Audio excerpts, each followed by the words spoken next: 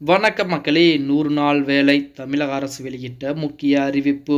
இந்த மாதிரி தினம் தினம் வெளியாகக்கூடிய நூறு நாள் வேலை சம்மந்தமான அனைத்து விதமான தகவலையும் நீங்கள் உடனுக்குடனே தெரிஞ்சுக்கணும்னு நினச்சிங்கன்னா நம்ம சேனலை சப்ஸ்கிரைப் பண்ணி ஃபாலோ பண்ணிக்கங்க. அப்படியே இந்த வீடியோ பிடிச்சிருந்துச்சு அப்படின்னா ஒரு லைக் பண்ணுறதுக்கு மட்டும் மறந்துடவே மறந்துடாதீங்க.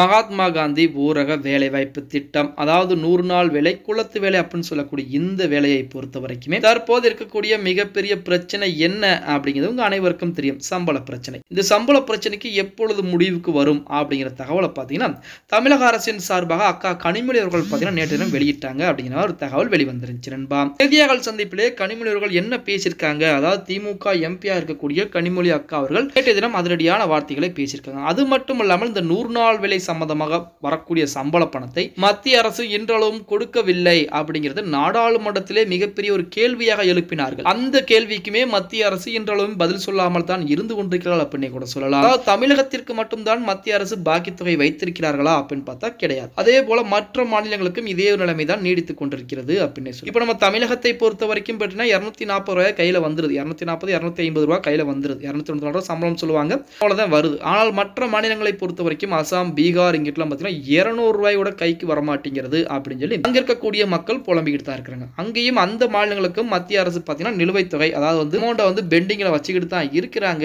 அப்படிங்கிற மாதிரி தகவலும் வந்துகிட்டு தான் இப்படிப்பட்ட சூழ்நிலையில் நமது கனிமொழி அக்கா அவர்கள் நேற்று தினம் செய்தியாளர் சந்திப்பில் கிட்டத்தட்ட மூவாயிரம் கோடி ரூபாய்க்கு மேல தமிழகத்திற்கு மட்டும் நூறு நாள் விலை சம்பந்தமான பணமானது வராமல் இருக்கிறது. அது மட்டும் இல்லாமல் உபகரணம் வாங்கக்கூடிய தொகை அதற்குன்னு தனியான ப- பணம் வந்து பார்த்தீங்கன்னா அது அந்த பணமுமே இன்ன வரைக்கும் தமிழக அரசுக்கு மத்திய அரசு கொடுக்காமல் தான் இருக்கிறார்கள்.